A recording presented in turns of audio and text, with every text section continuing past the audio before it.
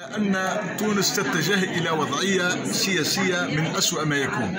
فضلا على الأزمة المركبة والمتراكمة واللي ازدادت سوءا بعد 25 جويلية الآن خطاب رئيس الجمهورية ليلة القدر وخاصة ليلة العيد هو عبارة عن إعطاء إشارة ونقطة انطلاق لاستهداف الخصوم.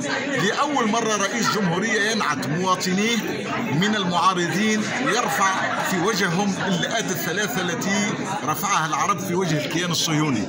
رئيس الجمهورية يعتبر مخالفيه عدو وهذا يتيح لأنصاره اللي قاعدين نشوفوا في صفحاتهم على الفضاء التواصل الاجتماعي يشنون الحملات على الأحزاب وعلى زعمائها وعلى قياداتها باتهام الخيانة وبالمحاكمات الشعبية.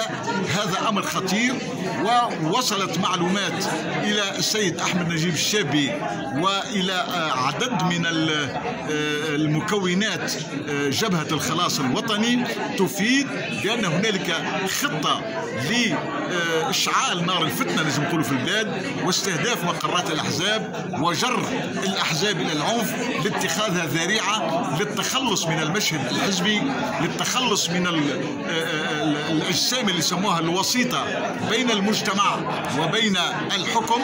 هذاك علاش شفنا اليوم سامي الطاهري الناطق الرسمي باسم الاتحاد يتبرأ من أن يكون الاتحاد جزء من مؤامرة شأن اغتيال أو فسخ الأحزاب من المشهد السياسي.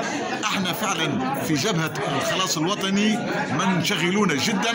نعم في جبهة الخلاص الوطني قيادات سياسية لا تتأثر بالتهديدات ولا تأبه لمثل ما يثار في قضاء في صفحات التواصل الاجتماعي. هذوما ناس منهم من جرب السجون ومنهم من جرب الملاحقة ولمدة عقود واقفين ضد استبداد الحكم سواء في عهد بورقيبة ولا عهد بن علي.